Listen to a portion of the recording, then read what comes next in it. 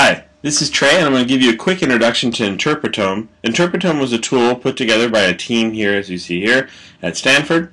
And Interpretome allows you to take your raw data from 23andMe or Lumigenix and view it and explore it in a way that you might not be able to at 23andMe or Lumigenix.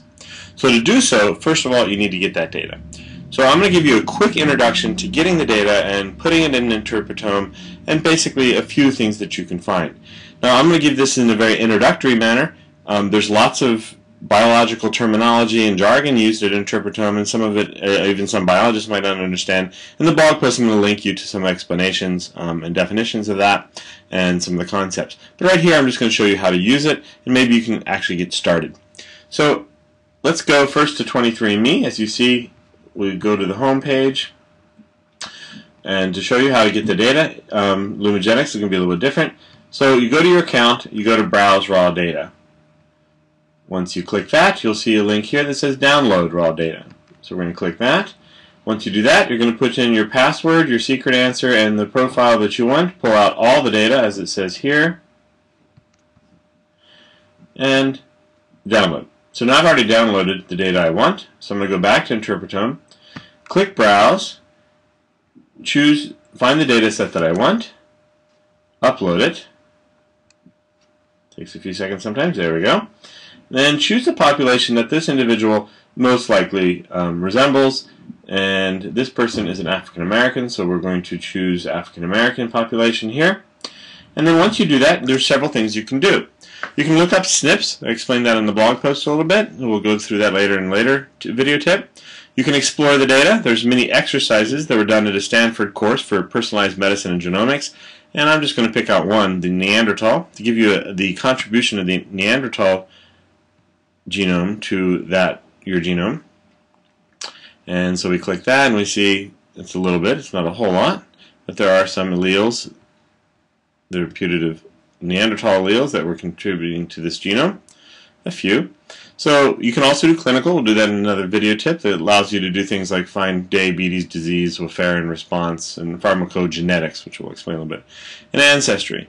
So we'll go a little bit um, less deep than the Neanderthal.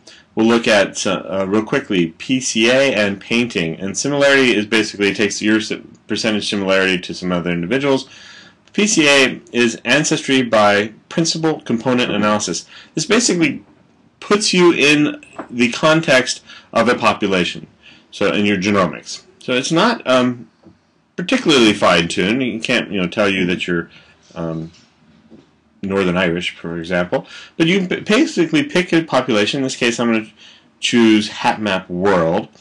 Um, as you see here, there's different populations you can choose, there's different resolutions you can choose, and axes.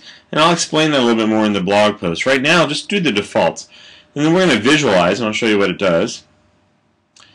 Basically, see, it gives you kind of populations. So this is European populations, Southern Italian, here we have Northern European, European populations. This individual here is MKK, which I will show you in um, what that means. These are all the population abbreviations. Basically puts it in a bit um, African American, not completely African, because here's the African population here.